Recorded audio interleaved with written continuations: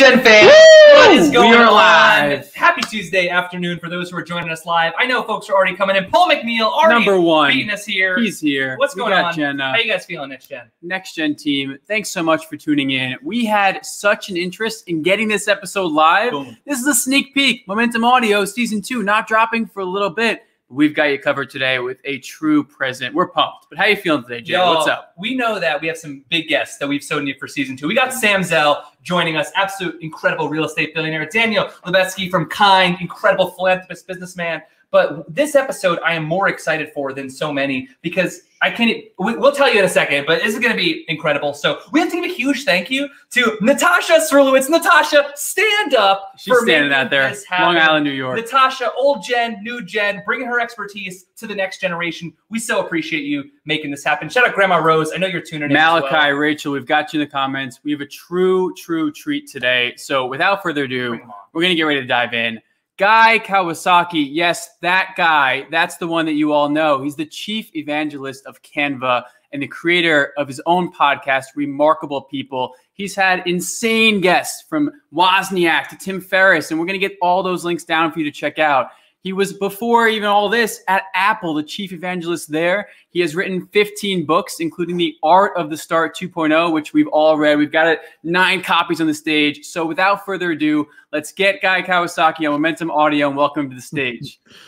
Guy, how are you today? I'm fine, thank you. You guys, you guys should switch to decaf. Guy, you, this is our secret sauce, all right? We can't be getting into too many secrets already, but our audience is stoked to have you here. Where we want to start is you have a great quote and saying, which is that entrepreneurship and being an entrepreneur, it's more of a state of mind than a job title. Guy, in your career, where did you start learning this? Because in school, you're not taught about entrepreneurship being this type of skill set and mindset. So take us back. Where did that first come, in, come about? I think it first came about when I saw you know, companies like Hewlett Packard, and and you know I saw that I was in Hawaii at the time, and if you're in Hawaii, your career path is sort of agriculture, sugarcane, pineapple, or tourism, or Ala Moana Shopping Center retail, and I I figured out that there is another path called tech, and I went to Stanford as an undergrad which was just you know putting me in the middle of the liquor store, if you will, and uh, I, never looked back. Wow. Guy, that is so powerful for everybody who knows a bit about your story. You speak on from your grandparents to your parents, the opportunities that they made possible for you. And I want to flag one in particular that you talk about in your most recent book, uh, your sixth grade teacher, right, who really Yes. played a pivotal role in opening up doors for you. Looking back, something that Justin and I talk about all the time, we are a product of those we surround ourselves with. Who were some of those early leaders and how did they shape your entrance, as you said, into tech, going to Stanford and building your Sure. life? Well, first to give credit to that sixth grade teacher. So I was in the public school system of Hawaii, and I came from a lower middle class, you know, not total poverty, don't have clothes, not eating, but not exactly rich either, you know. So uh, this teacher uh, in the public school, Kalihi Elementary, I guess saw potential in me and convinced my parents that they should take me out of the public school track and put me into a college prep track so that I would go to college and you know be all I can be. And so without her convincing my parents to do that and without my parents making that sacrifice, I don't know where I would be, but I would not be here. So uh you know that was the, the lesson there is that you know, everybody talks about Steve Jobs and Elon Musk and how they dented the universe and you know blah blah blah. But uh, you know if you're a teacher, if you're a coach, if you're a pastor, uh, you know you may not make millions of computers, but you definitely can impact people's lives. That Mm. sixth grade teacher changed the arc of my life. There's no question. Wow. Wow. And so many in our audience who are joining us live. Shout out Maureen, and shout out Noel in India saying this is an absolute dream. I think the reason they're so resonating with this is because entrepreneurship, it's it's a vehicle for you to achieve your dreams in life and have the impact that you're looking to have. We work with Next Gen, so many folks who would define themselves as intrapreneurs. They're still in corporate, they're at these big companies, but mm-hmm. they want to take ownership and, and take control with that, I want to talk about your experience at Apple. So you get to Apple, and Apple is an environment that we could probably never replicate again. I can't even imagine what was going on there. Did you have this clarity about you as an entrepreneur when you were at Apple and going on that journey to being the chief evangelist eventually? Talk to us about that time period and the energy so, of what yeah. you're seeing. So I got my job at Apple purely 100% because of nepotism. So my classmate from Stanford hired me. Without that, yeah, I, I mean, if you looked at my background on paper, I was in the jewelry business. I was a psych major. No high tech experience, no comp sci experience, nothing. My primary qualification was that I was this guy's friend. So, yeah, there's a lesson there. And the lesson there is that, well, there's several lessons. One lesson is uh, be good to the people you meet in college. That's lesson number one. uh, lesson number two is that you know, it doesn't matter how you get into a company or a situation, it matters what you do once you get in. So, and there's sort of two extremes in this. So, one extreme is uh, you're the boss's son or you're the boss's daughter, and the boss, because of nepotism, gets you in. So, you know, you could question your qualifications the rest of your life. You know, would I really have gotten this job without being the boss's kid? Uh, but I would say, you know, you got in that way, but that doesn't mean that you succeeded because of that. I mean, the, with the assumption, with the exception of the Trumps, but let's left, let's just leave them aside. So you know, I got in because of nepotism, but I did not succeed because of nepotism. I succeeded because of hard work and grit and luck and, you know, all the other stuff. So it doesn't matter how you get in. Um, I would also say that uh, it, it proves the story that, you know, on paper, many entrepreneurs, when they recruit, they have this very rational process. We need somebody with the correct educational background, with relevant work experience. Okay and I would ask you to consider one more variable, maybe the most important, which is does the person get it? And does he or she love what you do? Mm-hmm. Because if you look at me, I had a degree in psychology because that was the easiest major I could find at Stanford. And I was in the jewelry business, you know, literally counting diamonds. So you would not look at that resume on LinkedIn and said, perfect person for Apple to evangelize a Macintosh operating system. But for me, uh, when my buddy showed me Macintosh the first time, it was a religious experience. It was like I've had three, four religious experiences in my life. Seeing Macintosh for the first time, meeting the woman who became my wife the first time, uh, playing ice hockey the first time and surfing the first time. So those are the four momentous, you know, religious experience. Now, when I saw Macintosh, I promise you, the angels started to play trumpets and the skies parted and the scales were removed from my eyes and the, the sun broke through. I mean, every metaphor you can think of. When I saw Macintosh, I said, holy shit, man, this is th- there is nothing cooler than this. Now, you have to put yourself back. This is in the mid 80s. And in the mid 80s, you know, personal computer meant you were typing on a keyboard. And if you wanted to make graphics, you would kind of use the X's and the O's to, you know, sort of make graphics like that using X's and O's. But this with a mouse and Mac Paint and Mac Write, you know, graphics, what you see is what you get. What you see is what you print. Uh, paint brushes, fill patterns, all this great stuff that we take for granted today. That was just remarkable. Mm. Guy, this is incredible. Thank you so much for that authenticity. So many in our audience resonate with the grit that you showcased, right? To bring that to life. I want to dive right in on that note because something we love to promote and I know is core to you. You have to just get started, right? So you get in the door at Apple, you have this moment, this religious moment, if you will, and now you have a job that you have no experience in. There was no right. playbook for you. Nope. So, what was your approach in those first six months to tackling this new opportunity with Steve Jobs as your boss in a way? Not in a way, for sure. so, uh, you know, I mean, don't get me wrong, okay? So, it was the blind leading the blind there for a while because we, we were going where no man or no woman has gone before. Uh, now there were personal computers before. There's the Apple One and the Apple Two and the Apple Three and Lisa and Commodore, you know, stuff like that. But this was an entirely new operating system. Um, the reason why we were called evangelists as opposed to third-party developer relations is because evangelism comes from a Greek word meaning bring the good news. So we were bringing the good news of Macintosh that would increase people's creativity and productivity, which is very different than introducing yet another personal computer.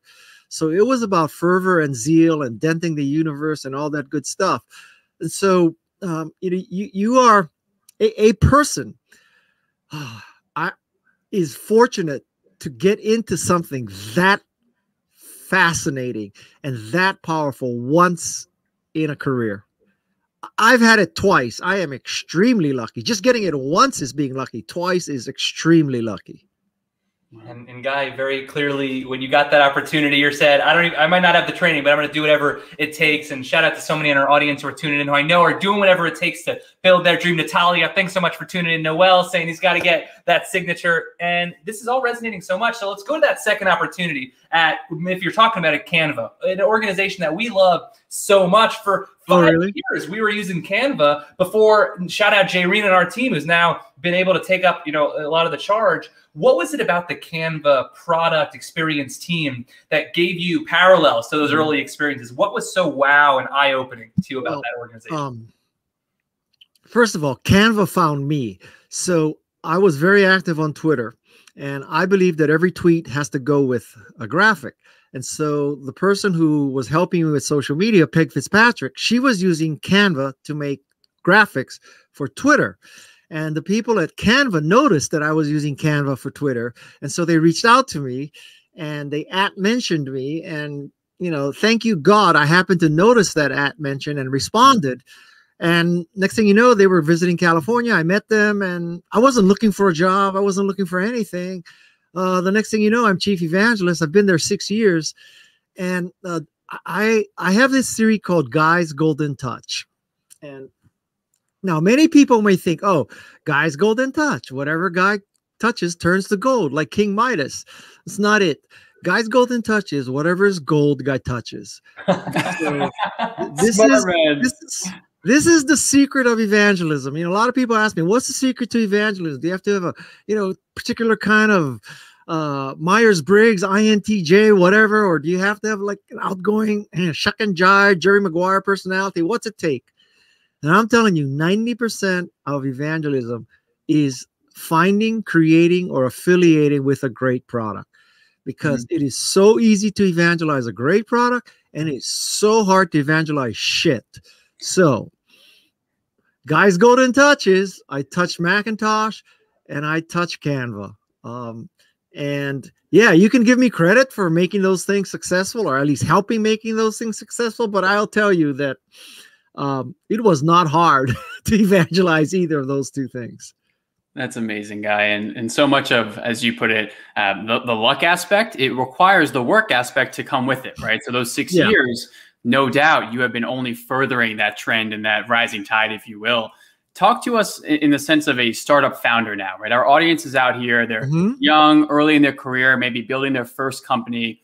What are some of the marketing techniques that you push forward every day that we as startup founders with probably zero dollars can start evangelizing our own companies and brands moving yeah. forward?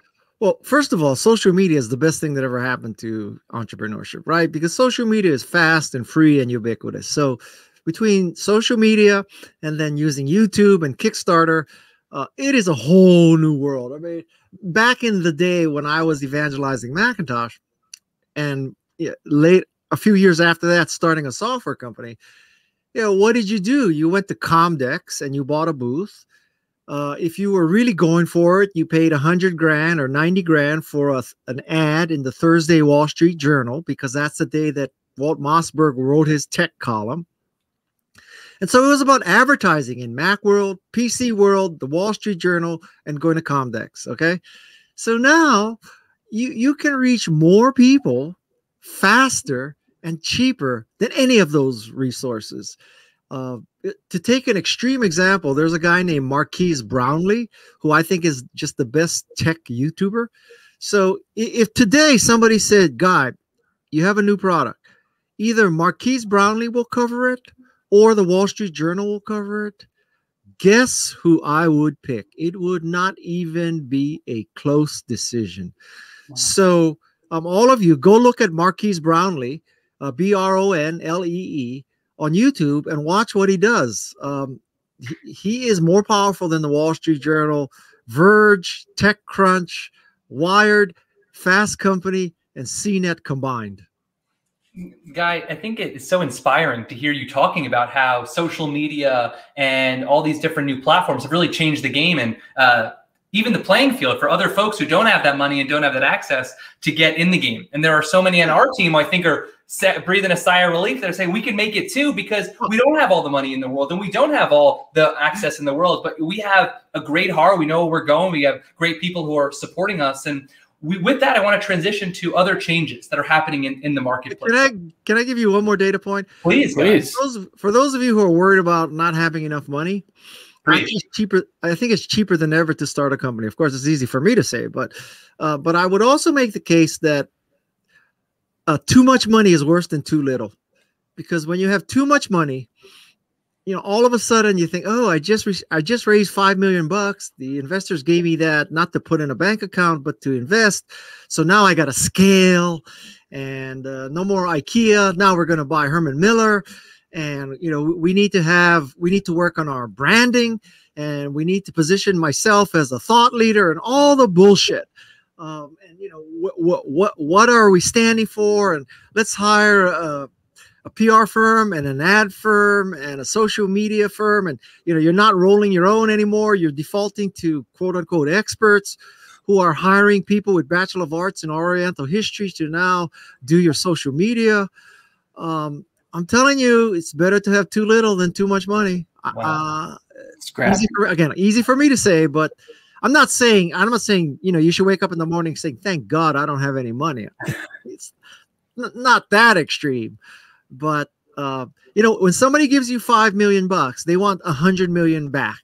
That's the kind of pressure you're putting on yourself immediately next gen entrepreneurs you're hearing this first if you're saying hey i got i got what i need to keep going maybe that's almost the best situation you can be in so keep uh, creating that authentic content and that authentic output that guy is talking about in our own experience shout out paul mcneil who's watching i think this live with us right now one of our early evangelists of next gen hq and paul has introduced us to more community members than a whole paid instagram campaign for a year because when you really get in touch with people who feel and resonate with that mission. So, Guy, you're talking about a lot of marketplace changes, social media, crowdfunding, expanding the game. You're touching so many startups. What else is different about maybe starting a company today? And what are you looking for? You're meeting entrepreneurs all the time. They're coming to you for help, for marketing, for funding. What are some of the things that you're seeing about founders today that are either really inspiring to you, really exciting based on the marketplace, or some of them maybe you're not so happy with based on what you've seen in the old days?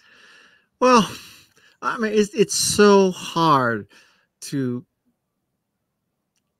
produce generalizations coming covering all entrepreneurs today who are millennials right I mean, that's a little broad uh, i i i think that basically entrepreneurship the spirit is not that different uh, whether it was 1970 or 2020 and it's about seeing the world as half full, not half empty. It's seeing the world as someplace with potential as opposed to, you know, just negativity. It's believing that there must be a better way. Um, it's it's a fundamental faith in the quality of products and services that you know quality wins, not just bullshit marketing. Um, it, it's and and I don't think that's changed at all. Uh, now the mechanism may have changed. You may raise money using Kickstarter instead of venture capital. You know, you may you may release your product using Instagram and Facebook as opposed to the Wall Street Journal. But the spirit of entrepreneurship, I think, is the same. I love that guy. And, and to that extent, while the channel and the mediums do evolve and they will continue to do so, we're going to come back to that in a second the core principle still remains. And something that you uh, were quoted earlier a few years ago saying, you have to polarize people when it comes to marketing. Could you maybe share with our audience what you mean yeah. about being well, that polarizing brand or figure? Well, I uh, I don't want that misinterpreted. I'm not saying that you should wake up in the morning saying, "How do I piss people off?" Okay? So I, I would say that if you make something great, it's going to generate strong emotions. Some people will love it, some people will hate it. And that's okay. The worst case is nobody cares. So the goal is not to piss people off. The goal is to create something great. And one of the consequences of creating something great is that it's going to piss people off. So, you know, when Elon Musk makes a Tesla, some people love it, some people hate it, right? Um, the worst case for Tesla is nobody cares. And that clearly did not happen. And so, whether it's Macintosh or Tesla or iOS or any great product, it polarizes people. That's okay. It's okay to polarize people if you're doing it because your product is maybe speaking to that piece yeah. of the market or speaking to that consumer who's maybe being largely ignored. Tesla, such a great example of how incredible they have done when galvanizing that yes. support from those folks. So there is some. I mean, you know, you, you take some you take something even like Canva, right? So Canva has basically democratized design. No question, right? No question. Almost anybody can make a great design now. Well, you know, if you had just invested 10 years and 10,000 bucks learning Photoshop, uh, you know, maybe maybe that's not the best thing you heard. So, uh, and again, you know, I, we didn't make Canva to piss off Photoshop users. We made Canva to democratize graphics for everybody. And arguably, a Photoshop user can use Canva for many purposes and use Photoshop for some very special things. Because, you know, Photoshop is a very, very deep product. It is the Mariana's Trench of, of graphic editing. But I, I would say if if Photoshop is the Mariana Trent, Trent Trench, uh, Canva is like Waikiki Beach. So I love it. Next gen fam, you don't have to be everything to everyone. I think that's a key lesson that guy you've always talked about is how define your value and have a product that really speaks to a consumer. It maybe shouldn't speak so broadly to every single person and every single use case. And there are many watching wow. us live, I know we're going to watch this after as well, who represent organizations that help high school and, and college entrepreneurs. And a lot of them I, that we work with Go ahead, guy. I, I think that trying to you know, appeal to quote unquote everyone is a guarantee of mediocrity. Mm. That it is inconceivable that if you try to appeal to quote unquote everyone, you could create a great product. It's just not going to happen. It's that's you will be tugged in eh, to, to, to take a case like Macintosh, right? So let's say you, you decided that you were going to make Macintosh appeal to everybody. So you'd say, okay, so we need backward compatibility with Apple II software. We need backward compatibility with MS DOS. Uh, we need to run one, two, three on Macintosh, and we need to run Sticky Bears on Macintosh. And it has to appeal to uh, a Fortune 500 CIO, and it has to appeal to you know one educator or one hobbyist sitting in his or her kitchen making spreadsheets or tiny documents or whatever. Uh, eh, it, it, it, it's hard enough to do one thing right, much less trying to do everything right. So it's just no can do. Just do one thing right and just hope that you're not the only nutcase that wants that.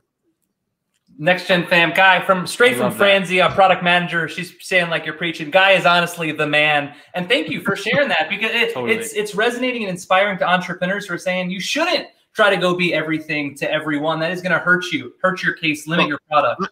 I, I could give you another uh, theory about how you should design your product. Do it. And this theory is you make the product that you want to use. You know, not some theoretical millennial who who is I don't know 25 years old and whatever. Uh, you make the product that you want to use that's what Steve Jobs and Steve Wozniak did. I would say that's what Larry and Sergey did at Google. That's what Mark Zuckerberg did. So we're seeing a trend here. Great companies start because the founders made what they wanted to use, as opposed to being market driven.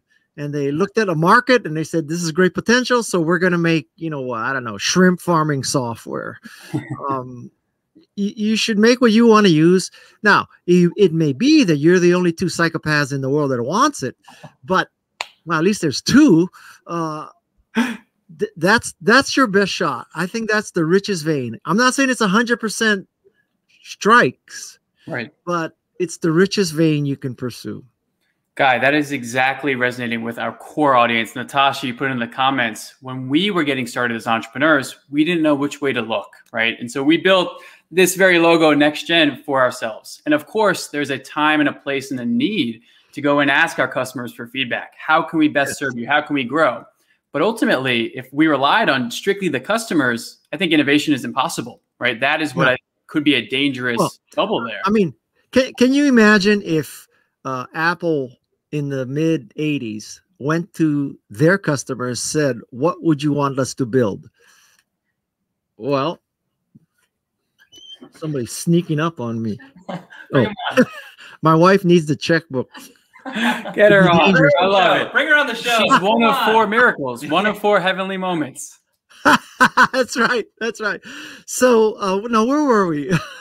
um, Apple and Steve Jobs, they're not Yeah. the customer is Yeah, not yeah, saying, yeah, "I yeah. want an iPhone, right? So yeah, so well, they they certainly would have said they would not have said I want a new computer that cannot run any of the software that I have now that is vertically oriented with a one button mouse and has a WYSIWYG display because none of that was in the vernacular of anybody. Nobody could describe that because you never saw it before, right? And so now you know there's a famous saying about uh, Henry Ford saying if you ask the Ford customer if you asked someone who had a buggy what they wanted they wouldn't say a car they would say you know a bigger buggy or more horses or a better whip but nobody would say a car and if you asked an owner of a General Motors car what you want they would say you know I don't know more horsepower less horsepower greater mileage less mileage but no one would say no, I want a, a car with a big battery. And then I want you to build an infrastructure of chargers all over the world so that I could take my battery car and go everywhere. Who, who, what GM customer would have said that? Guy, Elon. we're getting questions on the same product note from LinkedIn, and I, I want to ask. So there are a lot of entrepreneurs who have these big ideas. Dylan and I don't even get me started. We can talk to you the next five hours about our big plans for Next Gen HQ. But Tim and Kyle are joining us. They're thinking about, well, I have these big plans, but how do I choose my feature set or my product set and my product roadmap? Urzan joining us as well to say, what are the key features that I can focus on that hit the most? When you're t- talking to product teams, entrepreneurs, how do you bring them down? You have that big vision, but how do you focus people on when they're building products, what to put Well, sequentially? Okay, so first, a data point. My observation, and I'm not saying I'm, you know, clairvoyant or, you know, understand everything, but my observation is that these companies, the FANG companies, the the the the companies that have come to dominate the world,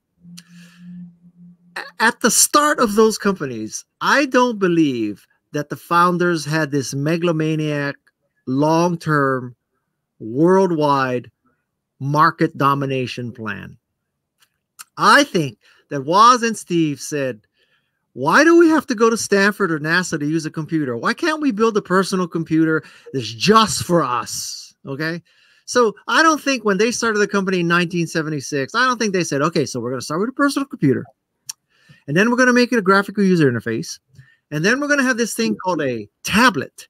And then this tablet will lead to a phone.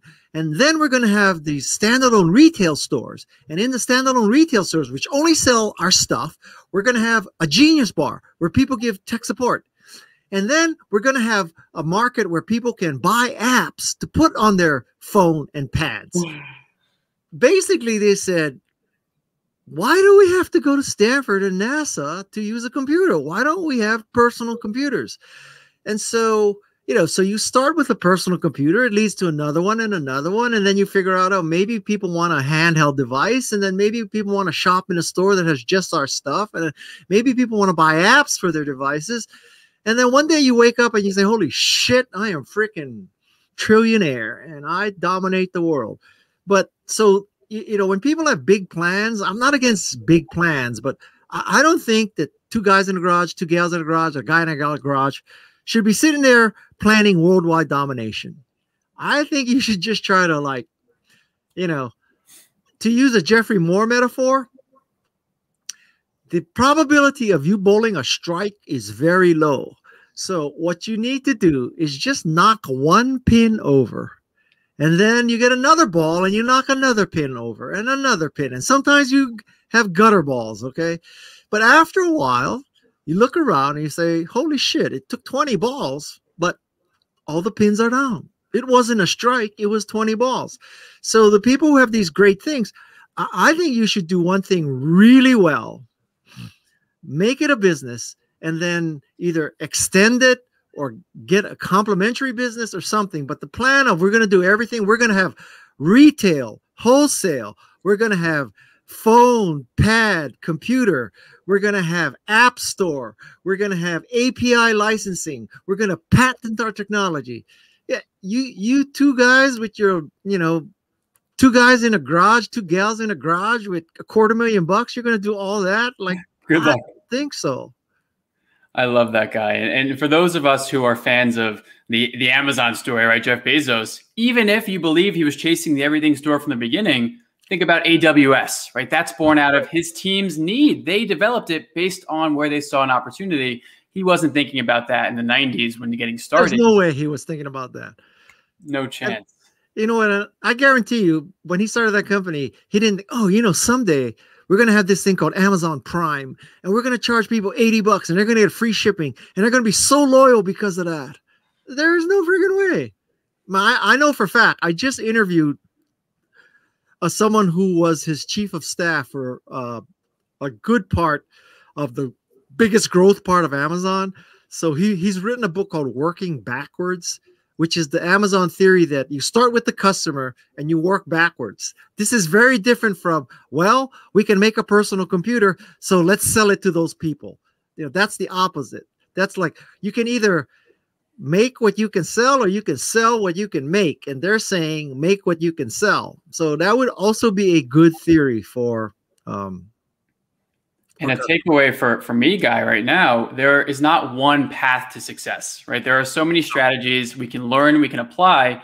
And something that you're quoted saying, a sign of intelligence is changing your mind, right? It's okay yeah. to go down a path and backtrack or realize you maybe can pursue yeah. another opportunity. This is, this is a very complex question because you know, there's sort of two theories, right? So one theory is you pivot. And the other theory is no matter what anybody else says, you believe and you gut it out, right? And those two theories are in complete and utter opposition. So, which one do you believe? It kind of comes down to, well, what was the last keynote speech you went to, or what was the last book you read to? You read, right? Because if the last one was, oh, we started Google to be a consulting firm and we turned it into a search engine, then you think, oh, we should pivot.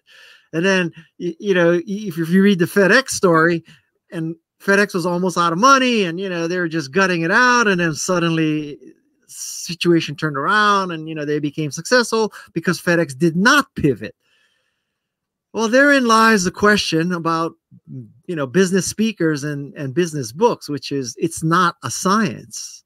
So there is no controlled experiment. There's no put two identical entrepreneurs with equal capabilities in an equal market with equal technology, have one pivot and have one stick it out, see which is better. There's no scientific tests like that.